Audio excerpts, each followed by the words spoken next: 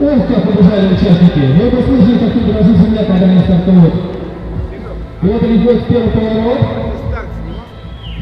Я их когда не видел, вот, наконец-то их вижу. Гацков, Григорьев, Высоцкий, Минин. Но это все промежуточно. Просто просветы не растут. Все очень трудно. Тактическая борьба. Зрители готовы, они ждут, ждут победителя. И вот начинается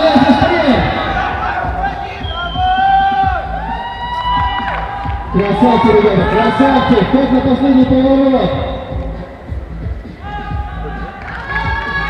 Мимо проходит с